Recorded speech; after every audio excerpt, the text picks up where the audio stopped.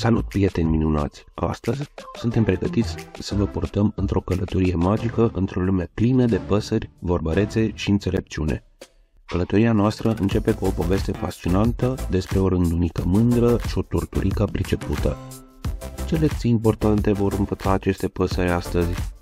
Stați cu noi și pregătiți-vă să descoperiți o poveste plină de învățăminte și aventuri.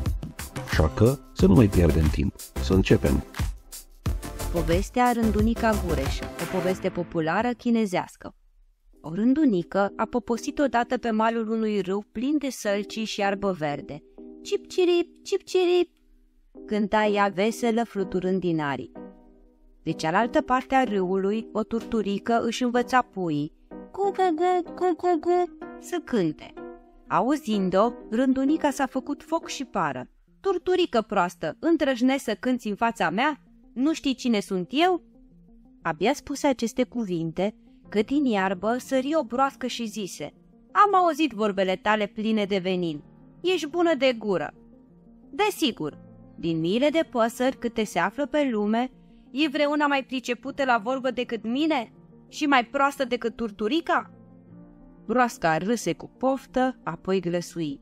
Cine spune că-i prost, nu e tocmai prost și cine spune că-i priceput, nu-i chiar așa de priceput. Rândunica, plină de mânie, se sumeți la ea. Dacă n-ar fi munții, cum mai știi care sunt câmpiile? Mai bine cheamă turturica să mă iau la întrecere cu ea. E mai bine așa, zise broasca. Și trecând râul, întrebă turturica dacă vrea să ia la întrecere cu rândunica. Turturica a venit și ea pe malul celălalt. Ei, în ce fel vreți să vă întreceți?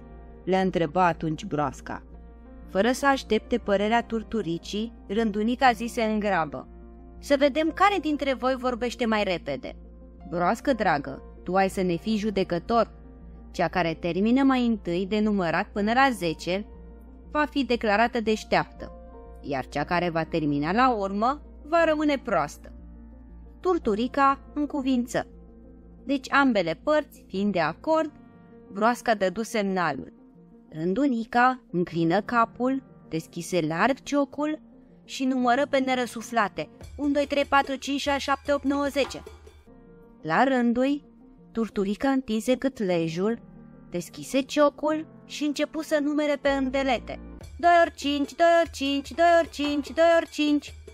Auzind-o, broasca izbucni în hohote de râs. Rândunico, țineți gura, borbăreațo! În timp ce tu ai numărat abia până la 8, Turturica a și ajuns la 40.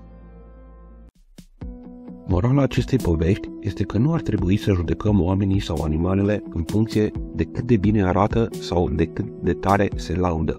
Este important să ne uităm cu atenție la ceea ce știu și ce pot face cu adevărat. Cineva care pare slab sau simplu la început s-ar putea să aibă abilități ascunse și să fie mai priceput decât credem. Deci, să nu judecăm pe cineva prea repede și să dăm oamenilor o șansă de a-și arăta adevărata valoare. Și așa ajungem la finalul călătoriei noastre cu Rândunica și Turturica. Sperăm că v-ați distrat și ați învățat ceva nou din această poveste specială.